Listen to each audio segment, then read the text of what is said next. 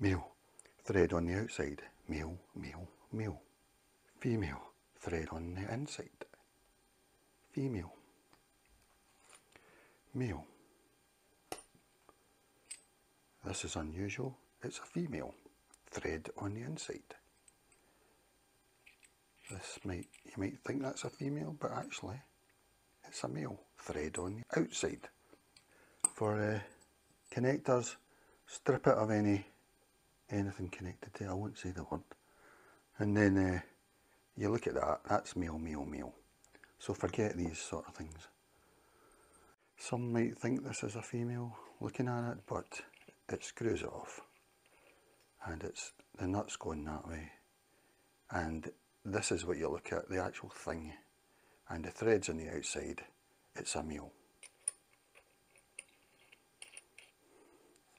And then on this side, you're just looking at it, and now you know, oh yeah, that's a male, because the thread's on the outside. It? And with inlet hosets, the connection, the threads on the inside, it's a three quarter usually on hoses. And threads on the inside, it's a female. The connections there, it's going that way. Yes, this is a female. So just looking again, that's a male.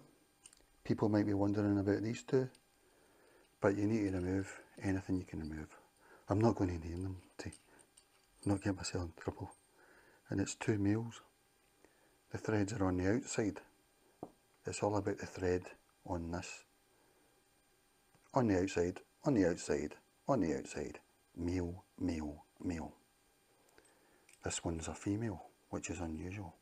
This one, the nut goes that way. It's actually a male because you're just looking at this. But this side is a female because the thread's on the inside and the nut's going out and it's connected to it. Okay guys, try not to get arrested when you're in the shop explaining this to the shop assistant. These are three males. The threads are on the outside.